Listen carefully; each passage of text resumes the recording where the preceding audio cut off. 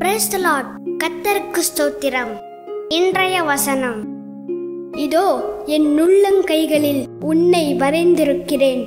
உன் மதில்கள் எப்போதும் என் முன் இருக்கிறது ஏசாயா நாற்பத்தொன்பது பதினாறு